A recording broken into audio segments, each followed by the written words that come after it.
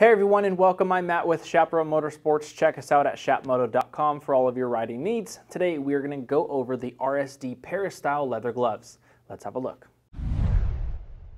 So these are the Peristyle gloves from RSD and I think these are great. I love the styling of them. Definitely a throwback to the 70s and there's three colors available a black, a brown, and also a red, white, and blue colorway, which I think is great. Now, let's go over what these gloves have to offer. First off, the top hand is made with a mix of top grain cowhide leather, also, you have stretch knit material across the top hand throughout the fingers and it covers the top part of your thumb. That's going to add breathability, mobility, and it's also going to give a great contrast.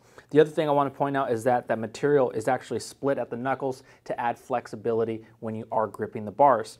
Now the details you're going to notice quilted stitching on the top. It's more of that diamond pattern with contrast stitching, so it's gonna pop off the glove.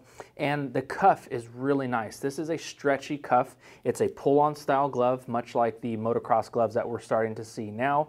And on the bottom side of the glove, in the palm, you have reinforced panels or patches with that cowhide leather. There's a bit of perforation on the fingers and in the palm to add some breathability and help that hot air escape the glove.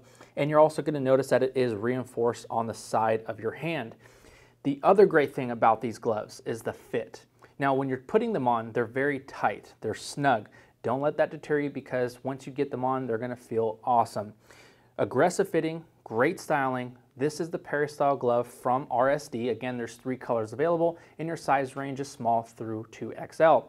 For more info on these things, click the upper right hand corner of your screen, click that information card, it'll take you right to the product page on our website, chapmoto.com. And also don't forget to subscribe to us on YouTube. I'm Matt and we'll see you again.